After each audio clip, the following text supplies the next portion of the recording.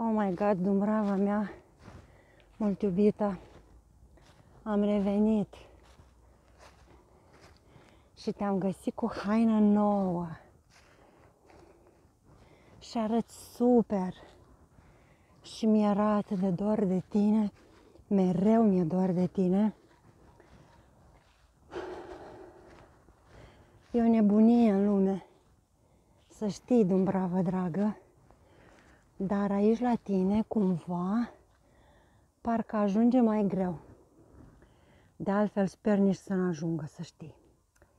Și am venit astăzi pentru că am o surpriză pentru tine și pentru toți locuitorii tăi, văzuți și nevăzuți.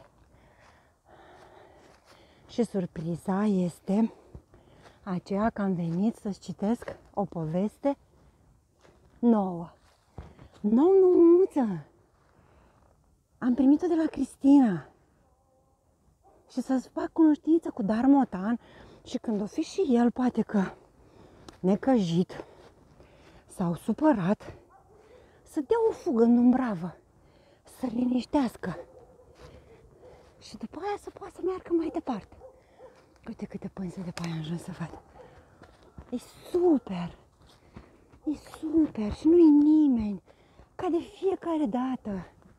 Nu-i nimeni care să se vadă că sunt convinsă că prin scorbure și prin vizuini stau tot felul de ochișori care ne privesc și așteaptă povestea noastră. Acum am să ți-o citesc. E atât de frumos. Uite cum e copacul ăsta. E atât de frumos. M-a pișcat ceva, dar nu știu ce. O cânganie, cred. Dar nu-i nimic. A, să mă piște. Sau o urzică, poate că, că ele te prind și te înțeapă. Super fain. Wow!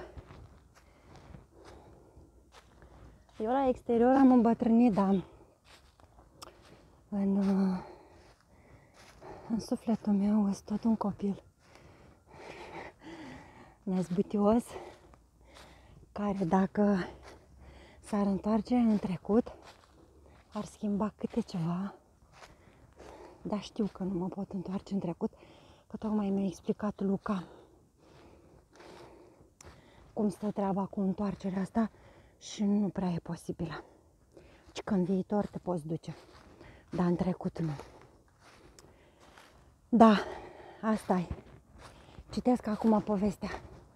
Am ajuns la copacul la care, prin care, dacă te uiți, vezi ceva special. Vă arăt imediat.